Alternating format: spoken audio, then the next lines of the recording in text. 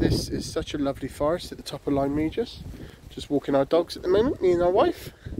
Walking our three dogs. There's Peggy. Hello baby.